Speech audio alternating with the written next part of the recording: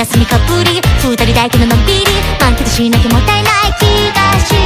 待ち合わせの噴水前到着したの10分